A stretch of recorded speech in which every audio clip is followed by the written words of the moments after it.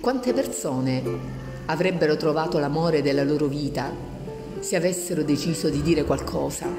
Mi chiedo, quante persone si sarebbero innamorate se solo si fossero parlate? Gli estranei seduti uno accanto all'altro su un aereo di notte o in una piccola libreria piena di vecchie storie. In un concerto entrambi vogliono indugiare nella stessa nota di una canzone che pensano contenga un universo.